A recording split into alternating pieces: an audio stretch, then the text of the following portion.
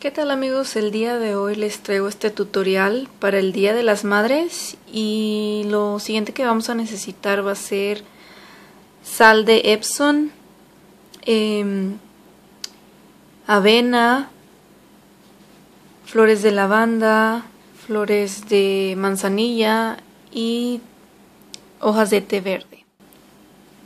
Ahora lo siguiente es mezclar nuestros ingredientes.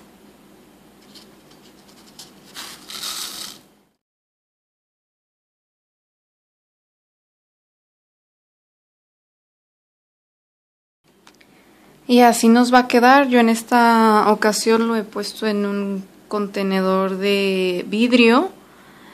Y bueno, ya está listo para que cuando la mamá se quiera relajar pueda echar este estas sales en la bañera y tenga un baño muy relajado.